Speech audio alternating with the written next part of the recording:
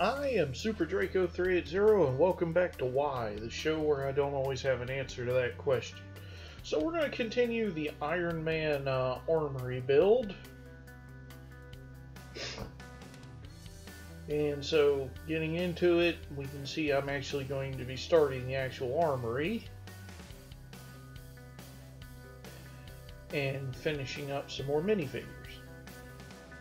So anyhow, uh, first things first, I want to say, uh, I just want to say thanks to everybody who watches my content. Uh, thanks to uh, user or user Jesse on Fiction Press, who has reviewed my uh, uh, the first two chapters of my fantasy story. Thanks for reading.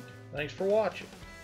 So, I wonder I wonder if that's ego me just jumping on board to say that they saw this. Anyway,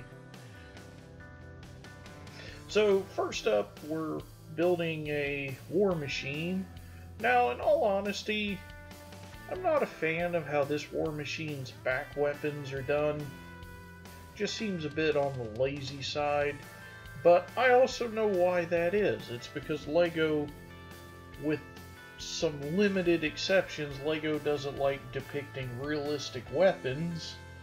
And in the Marvel movies, the War Machine armor has a lot of very realistic style weapons on it.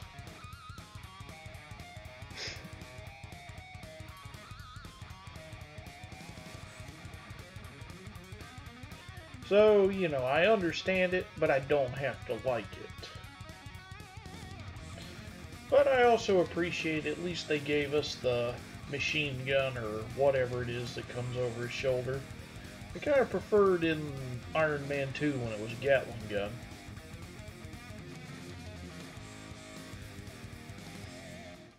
Anyway,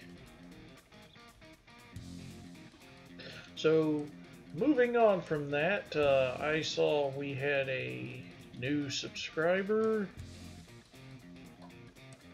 and so let me bring up my studio so we can give give that person a shout out. Alright, let me go get my phone because it's not showing up on my dashboard.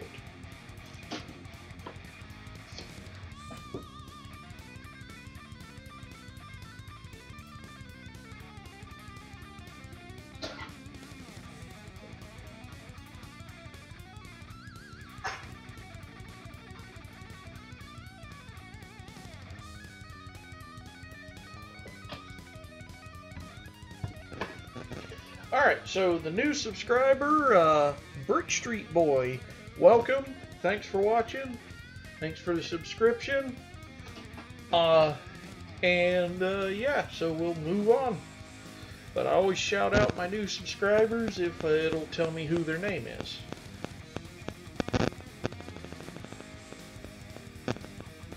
But I also am curious because sometimes my YouTube on my mobile will show me a subscriber who doesn't appear on my desktop. But, whatever. Can't do much about that. So, for the build, uh, and now, I believe we're building uh, his uh, one of his robots that uh, after the first Iron Man really stopped having any kind of importance in the films. Although it still had my favorite gag and or joke or dialogue in, in Iron Man. If you spray me again, or if you douse me again, I will scrap you, or something like that. Man, I, I gotta watch Iron Man and Iron Man 2 again.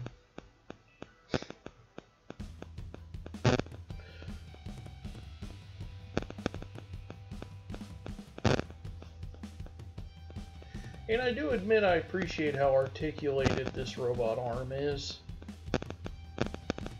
Although there's an interesting disconnect. All the promo pictures show this robot with a uh, circular saw, but the instructions actually never show you putting the saw into its hand.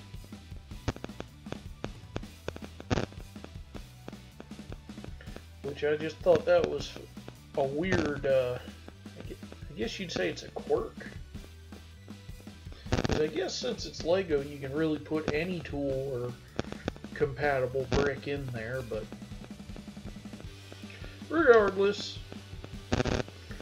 And so now here's where the build gets a little boring because uh, we're going to start building uh, the, uh, we're going to do uh, the, what you call it, the booths in the Hall of Armor.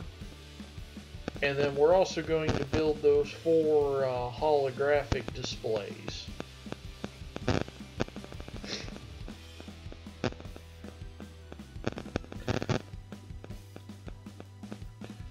So anyhow, uh, you know, if you don't want to listen to me, uh, you can always just mute it and listen to whatever you want while I build. I always tell everybody I don't begrudge how you enjoy anything. Also saw in the last few days one of my top videos is that short I did of Chloe uh, going absolutely nuts after I talked to her. Yeah, I live with that, so... Anyway... I'm having fun today, but I'm going to see how much longer my voice uh, holds up. We're at about we're about halfway through, so it might make it to the end of the video. Now, honestly, these holographic displays, I'm not a big fan of these. Uh, you know, you put a sticker on them, so you really can't do much with them afterwards. I mean, you don't have to put a sticker on them, it's Lego, or you can take the sticker off. Now, since I'm not a big hardcore Lego uh, builder and collector, I just follow the instructions and then utilize it for whatever I'm utilizing it.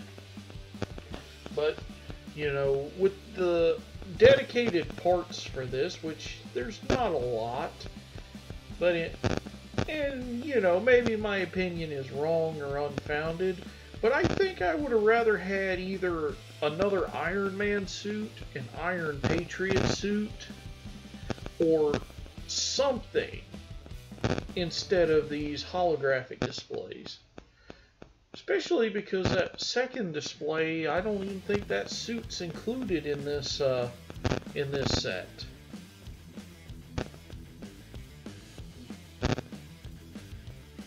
Well, actually, I don't think the Mark 1's included in this set either. So it's like, what's the point of giving us these displays for suits that aren't even uh, aren't even in the set?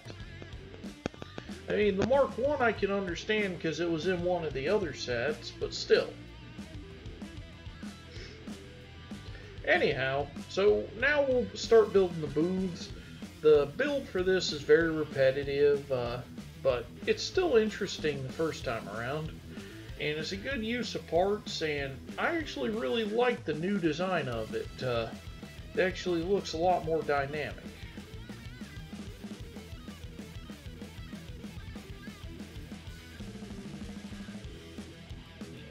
What is going on here?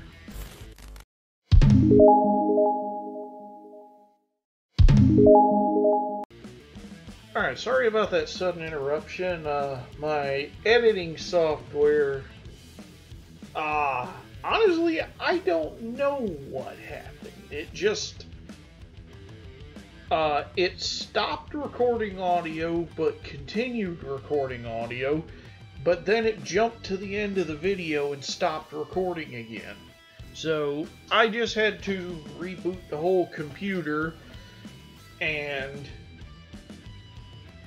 essentially what I did is I just uh, took a copy of the raw file, cut it to where the uh, where the issue starts, and then just spliced that uh, that little transition in the middle just uh, to uh,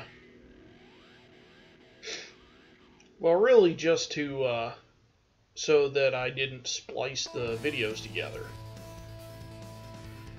So anyway, continuing where we are, um, I really do like these booths. Um, those uh, are those garage door window or garage door uh, panels that are being used for those little side windows. I'm not sure, but whatever they are, they really do help improve the presentation of the and the dynamic appearance of the booths for the armor.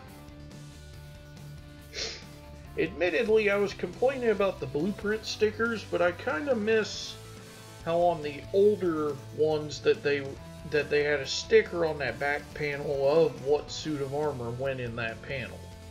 I mean, it goes both ways because on the one hand, if you don't actually have minifigures for those suits, it kind of sucks.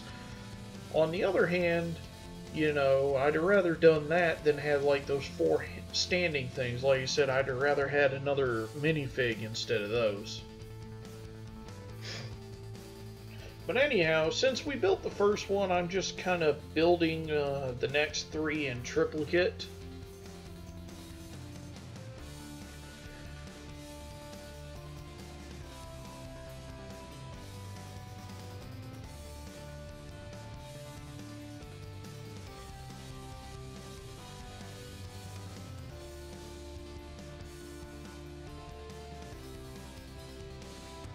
Oh, and I know what I was thinking about before. Uh, so, television-wise, uh, you know, no surprise here, seeing how I'm building Lego Marvel, but, uh, you know, big, uh, well, I usually alternate the joke between am I a geek or a nerd because I can give you a different joke answer on a different day. So lately, you know, I got into a bunch of anime. I've been watching the Kingdom of Ruin, or Kingdoms of Ruin, whichever it is. That's been really good and messed up.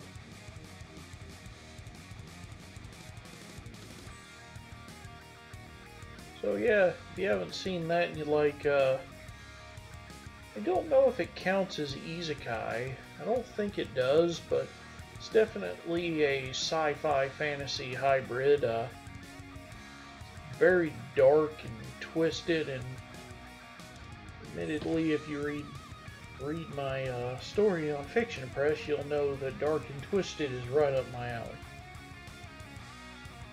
I better stop because now I think I'm starting to oversell my own fantasy story. Also, it still feels a bit skeezy to self-promote that that hard.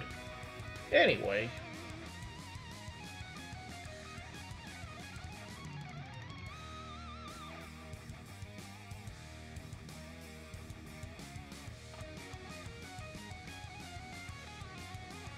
admittedly, with 2024 here, I'm excited. Uh, the Overlord movie should be coming this year.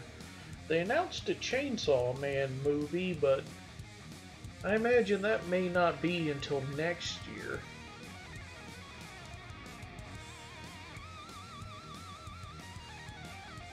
So that's both good and bad news, because waiting is the hard part. So, looking at it right now, we're getting to the end of this build. Um, we're going to finish up these booths, and I think that that's it for this one. So I'm going to go ahead and say thanks for watching. Thanks for checking out my uh, story on Fiction Press. I do have more content coming to Fiction Press, uh, but right now the fantasy story is just what's at the forefront of my brain. And I do appreciate the that they've continued to make these uh, clip together and where you put a bend in them. Thanks for watching, and I'll see you for the next video, part 3 of this.